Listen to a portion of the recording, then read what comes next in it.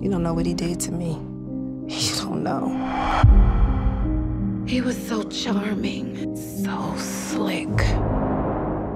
Forever. That's what he said. Do you know the last thing a woman wants to hear about her man is that he's cheating on her? Every time a black woman gets mad, she's a stereotype. Sick and tired of hearing that. You still messing around with her? I'm Diana, Robert's fiance. Maybe he did mean what he said. Maybe the deceit isn't what you think. Oh no, I don't think so.